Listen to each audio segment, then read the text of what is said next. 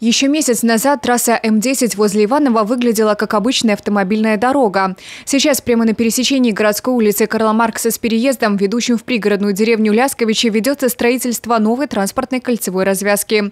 Она поможет упорядочить автомобильное движение на данном участке дороги. Строительство кольцевой развязки направлено в первую очередь на безопасность дорожного движения на данном месте и обусловлено интенсивностью дорожного движения особенно в утреннее и вечернее время.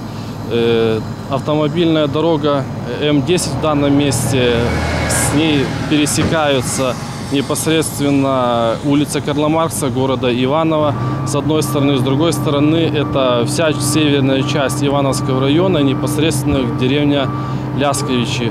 Э, где в настоящее время интенсивными темпами развивается инженерно-транспортная инфраструктура. Для Ивановского района это очень важный объект. На его строительство из Дорожного фонда страны выделено более полутора миллиона рублей. По заказу Брест-Автодора их осваивает генеральный подрядчик Гомельский дорожно-строительный трест номер два, выигравший торги. Сначала мы сделали, сняли растительный слой с откосов э, земполотна. После этого было выполнено фрезерование асфальта, старого асфальтобетонного покрытия.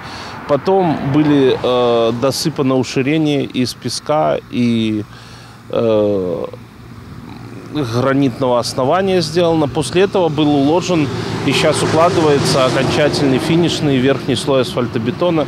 Также были выполнены кольцевое пересечение дополнительное и капельки для того, чтобы разделить потоки движения. Всего на объекте трудятся около полусотни человек, задействовано 15 единиц спецтехники и столько же автотранспорта. По словам представителя генподрядчика, строительство транспортной развязки всегда связано с определенными сложностями.